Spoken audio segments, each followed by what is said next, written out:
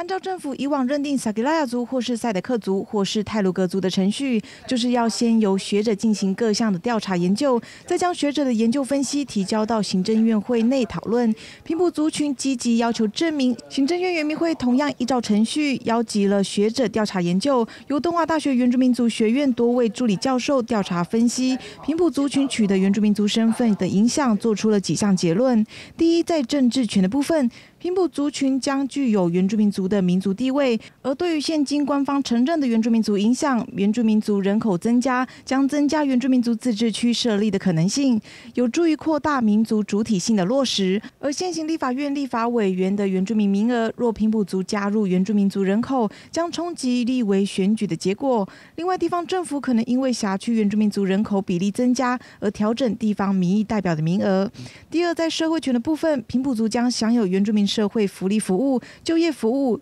卫生、医疗保健等资源，而对于现今官方承认的原住民族影响，将可能提高行政院原住民族委员会的社会权预算，稀释了现有的资源。另外，在文化权的部分，对平埔族来说，目前有足语教学或教材、足语考试认证皆需加入平埔族语，而行政院民会民族教育审议委员需要新增平埔族代表名额。另外，文化产业发展的部分，可以依行政院原住民族教育文化补助要点接受补助，而平埔族群学生也可以参加原住民公。公费留学考试以及申请自费留学奖励，而对于现今官方承认的原住民族影响。政府所投入的资源不变的情况之下，所获得的资源将遭到排挤，资源将有可能变少。若政府投入的资源增加，所获得的资源将不会遭到排挤。而在土地权的部分，平埔族群在传统领域土地部分将按照原住民族基本法得到国家承认，也可以取得原住民保留地所有权的资格，并可以依法在原住民地区从事非营利的狩猎、采集与利用水资源的行为。